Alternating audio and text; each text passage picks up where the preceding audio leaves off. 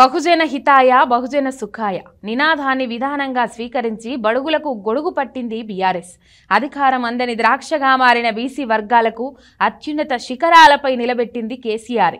PCC అధ్యక్షులుగా పనిచేసిన Congress party ప్రభుత్వాల ఏర్పాట్లో క్రియాశీల పాత్ర పోషించిన బీసీలను అణిచివేసిందనేది జగమెరిగిన సత్యం.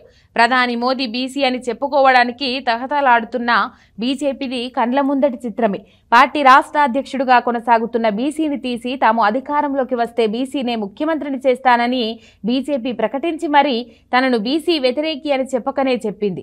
అదే బీఆర్ఎస్ పార్టీ అటు ప్రభుత్వంలో ఇటు పార్టీలో బీసీలను అక్కున చేర్చుకొని అవకాశాలు కల్పించిందని లెక్కలే చెప్తున్నాయి.